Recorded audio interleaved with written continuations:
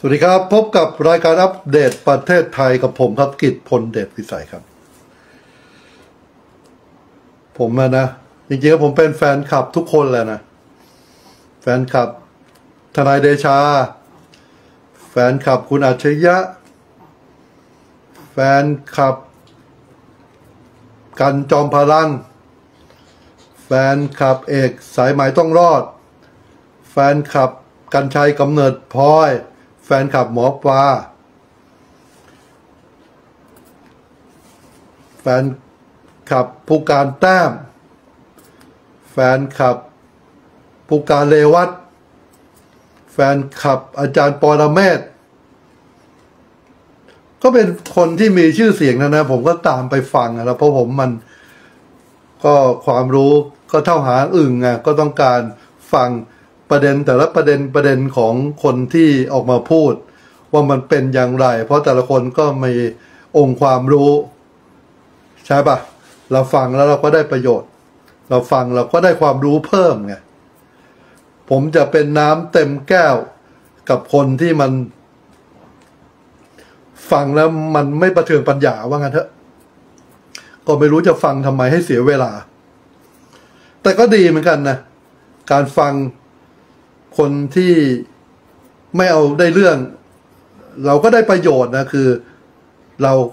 ก็อย่าไปพูดอย่างเขาอย่าไปคิดอย่างเขาไอ้ก็ประโยชน์ทั้งนั้นแหละครับ การฟังมันเป็นสิ่งที่ดีมากๆเลยนะแล้วคนหนึ่งที่ผมก็เป็นแฟนคลับ ก็คืออาจารย์ออดครับ อาจารย์ออดนักวิทยาศาสตร์ชื่อดัง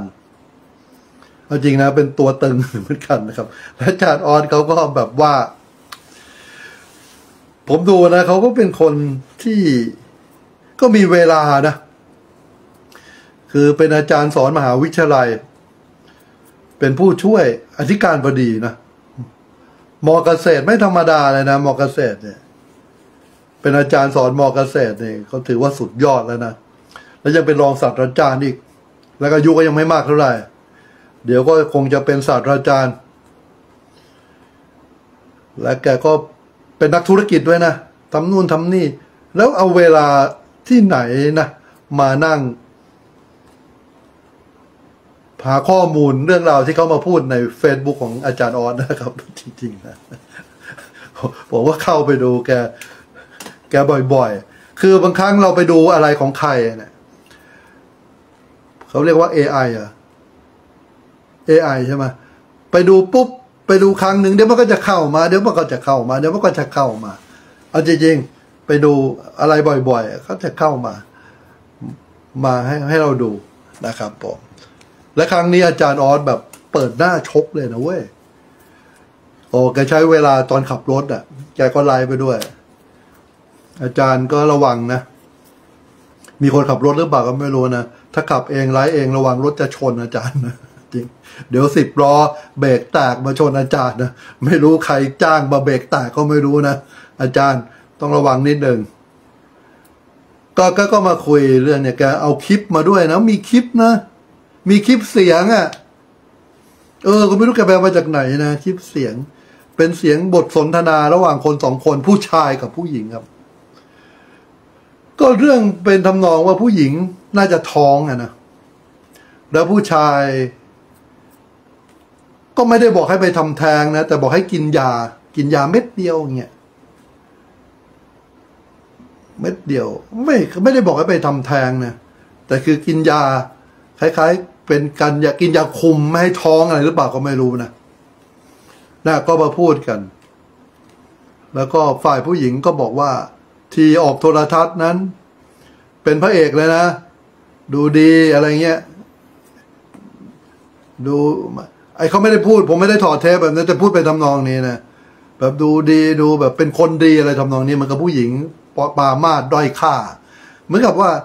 เห็นในจอโทรทัศน์แม่งเป็นคนดีจังเลยวะแต่ทำไมมึงมาให้กูกินยา อะไรทำนี้ไม่ยอมรับลูกในท้องอะไรทำนองนี้ก็เป็นเนี่ย ก็ไม่ไม่ยาวสั้น ๆนะครับ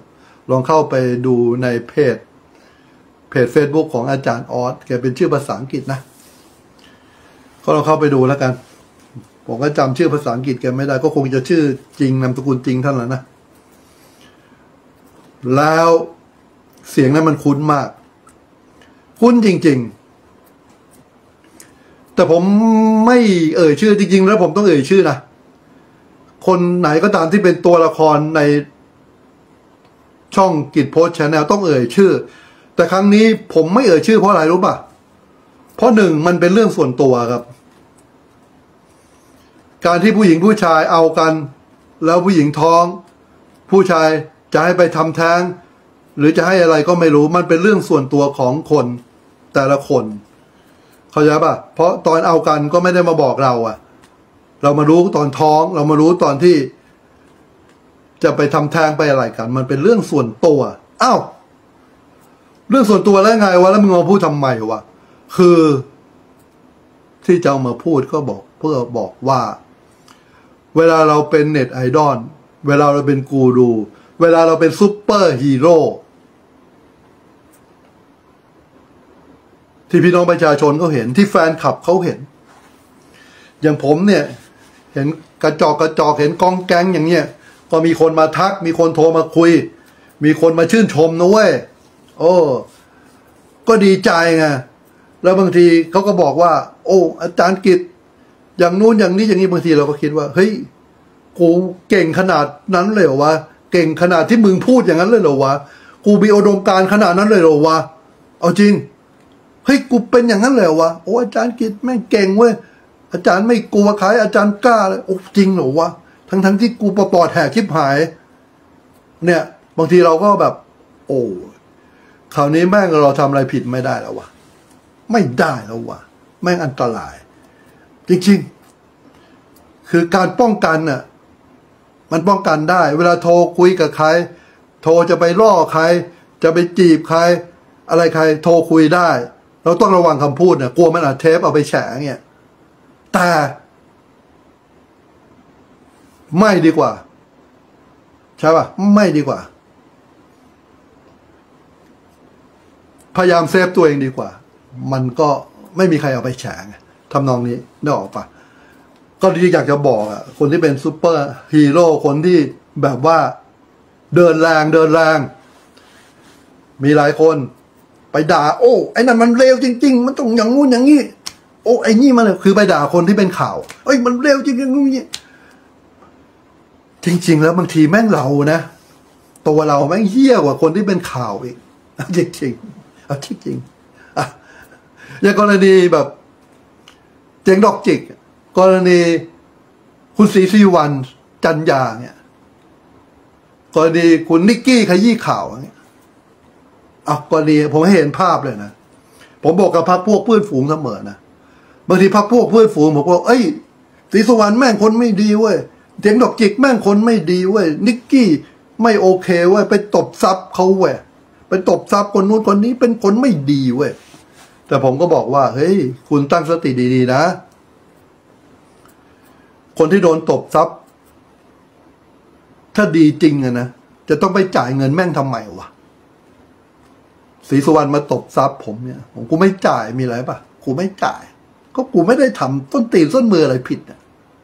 เสียงดอกจิกมาตบซับผม ไม่จ่ายกูไม่จ่ายผมจะด่าแม่งให้ของลับด้วย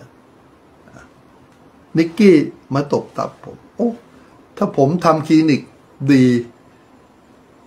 ทำดีทำนมสวยทำอะไรสวย กูต้องไปให้ตังค์มึงทำไมวะ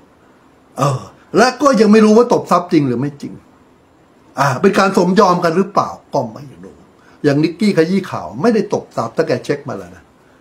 ไม่ได้ตบซับใครนะเว้ยเออ เนี่ย แต่สังคมไม่เขารุมประดามรุมใส่รุมใส่แล้วคนที่ไปต่อว่าเขาอะดีพอแล้วเหรอดีจริงไหม ตัวเองไม่เคยทำผิดต้นตีนต้นมืออะไรเลยหรือนะอย่างผมเนี่ยทั้งอดีต ปัจจุบันอนาคตก็คง ก็คงจะทำอะไรผิดอยู่เรื่อยๆแล้วนะครับจริงๆเพราะมันเป็นสันดานของเราอะสันดานที่แม่งแก้ไขไม่ได้ ที่ทำความดีมั่งไปทำช่วยเหลือผู้ยากไร้บ้าง ไปช่วยเหลือหมาจรจัดบ้าง ก็เพื่อจะไถ่บาปนะก็ทำความเร็วมาบ้างก็ทำความดีบ้าง นิดๆหน่อยๆ ก็ยังดีนะครับผมอ้าวแล้วถ้าเป็นจริงนะอย่างเสียงนะเพราะเสียงเดี๋ยวนี้มันแบบว่ามันทำได้ คนจะมาแกล้งเนี่ย เรียนแบบเสียงผมก็โคตรง่ายเลยเห็นไหมเห็นที่ตลกไหมตลกเขาพูดกัน เสียงคนนู้นคนนู้นคนนี้ แล้วมียิ่งกว่าตลกอีกไอ้พวกนักพากไอ้พวกนักที่ใช้เสียงมันเรียนเสียงได้ มันสามารถทำคลิปได้อะไรได้ มันไม่ยากอะไรเลย แค่ทำคลิปขึ้นมามีการตอบโต้กัน แค่เนี้ยมันก็ทำให้คนเสียผู้เสียคนแล้ว ผมก็คือภาวนาว่าอย่าให้เป็นคนคนนั้นเลย อย่าให้เป็นคนที่เสียงเหมือนคนคนนั้นเลย นะ แต่ถ้าเป็นคนคนนั้นจริง ๆ นะ ผมก็คิดว่ามันมาทำไมเงียบจังวะทำไมรายการอะไรไม่ออกเลยวะ ถกไม่เถียง โหนกระแส หรือรายการเปิดปากกับภาคภูมิเฮ้ยไม่มีพูดถึงเรื่องนี้เลยวะเรื่องนี้มันเงียบ เงียบสนิทศิษย์ส่ายหน้าเลยเลยนะเฮ้ยมันต้องออกมาแล้วก็ออกมาว่าไอ้มันไม่เป็นเรื่องจริงเว้ยมันไม่ใช่เว้ยมันไม่อะไรเว้ยเฮ้ยเงียบไปหมดเลยนะ ถ้าอย่างนั้นมันก็เป็นการเล่นพรรคเล่นพวกกันหรือเปล่าวะถ้าเป็นเรื่องจริงนะแต่ผมก็ยังภาวนาอยู่ครั้งที่สองนี้ว่าขอไม่เป็นเรื่องจริง เพราะว่าซิปซูเปอร์ฮีโร่ของประเทศไทยมันเหลือน้อยลงแล้ว มันหายไปทีละคนสองคนคนสองคนแล้วมันก็จะไม่เหลือแล้วไงแล้วถ้าเราไม่มีซูเปอร์ฮีโร่ไงพวกแบทแมนพวกซูเปอร์แมนพวกกัปตันอเมริกา ไอ้พวกเนี้ย ถ้ามันไม่ออกมาทำงานนะ เออ แล้วพี่น้องประชาชน จะอยู่กันยังไงวะ ใช่ปะใครจะมาช่วยพวกเราวะ เพราะฉะนั้นขอขอ อย่าให้เป็นตามนั้นเลยนะครับ ผมนั่นคือเรื่องราวที่เกิดขึ้นนะครับ ในบ้านนี้เมืองนี้ประเทศนี้ผมมีหน้าที่นำเสนอในแง่มุมของผมครับ มาซื้อหนังสือผมครับคาถาตำราพลิกชีวิตครับหนังสือเล่มนี้นำเรื่องราว เกี่ยวกับสิ่งศักดิ์สิทธิ์พิธีกรรมพิธีการบนบานสารกล่าวขอเข้ามาที่ถูกต้องอยู่เล่มนี้ผมตั้งใจเขียน สุดฝีมือเลยนะครับเป็นพ็อกเก็ตบุ๊กเล่มที่สามสิบเจ็ดของผมนะสามสิบเจ็ดนะ เดี๋ยวกำลังจะเขียนเล่มที่สามสิบแปดจะมีให้จำหน่ายปลายปีนี้ ชื่อว่าธรรมะสไตล์กิจครับ ตอนนี้กำลังเขียนอยู่ แล้วก็ติดต่อผมได้สามช่องทาง Facebook ดรกิจพลเดชสายภาษาไทยนะดอรกิจพลเดชวิสัยแล้วก็ ID LINEกับเบอร์โทรศัพท์เบอร์เดียวกันนะบูชาพระนางพญาสยาม 290 บาท ปลูกเสกสามวาระศักดิ์สิทธิ์มาก ๆ เลย ที่เดียวครับเพื่อไปเสริมสร้างบารมีของผู้ที่บูชาของผู้ที่ศรัทธา แล้วก็อย่าเพิ่งเปลี่ยนช่องนะครับ ดูโฆษณาท้ายคลิปด้วยนะครับ หนึ่งในนั้นก็คือ กระถางแคนตัดครับ อันนี้เป็นถ้วยกาแฟนะแล้วผม ไม่ได้ผมแต่คนทำเข้ามาทำเป็นกระถาง ใช้เวลาสามชั่วโมงนะหนึ่งใบ ประดิษฐ์ประดอยทำสุดฝีมือเลยจริงๆทำได้วันละหนึ่งใบก็หมดแรงนะครับ ขายสองรอยี่สิบบาทแม่งโคตรถูก โคตรของโคตรถูกเลย ถ้าเกิดไม่ปลูกต้นไม้นะก็ซื้อไปฝาก ไปฝากคน จริงๆ แค่ไปตั้งโชว์ก็สวยแล้วครับ ไม่ต้องมีอะไรเลย ก็สวยแล้วสองรอยี่สิบาทครับอุดหนุนกันด้วยนะครับ วันนี้ขอบคุณครับ ขอบคุณเป็นอย่างสูงนะครับ ที่ติดตาม กิจโพสชาแนลด้วยดีเสมอมา ขอให้ทุกท่านมีความสุข และขอให้พระคุ้มครองพี่น้องประชาชน ชาวไทยทั้งประเทศครับ สวัสดี เราต่างกันชีวิตที่เรียบง่ายนั้นใจชีวิต